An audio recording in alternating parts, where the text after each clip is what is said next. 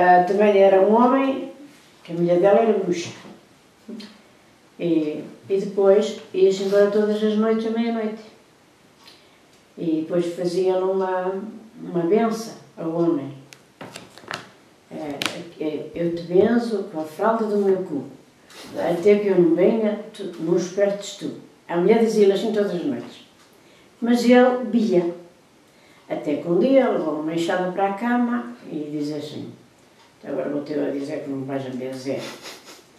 E, e depois, que então, que, que ela quando estava a dizer, eu te benzo com a fralda do meu cu, até que eu não venha, não espertes tu. E ela agarrou a enxada e que ele diz, eu te venço com o cabo desta enxada. Nem que eu te mate, tu não digas nada. Era bruxa, que ela era bruxa, vencia o homem quando ia para o fado.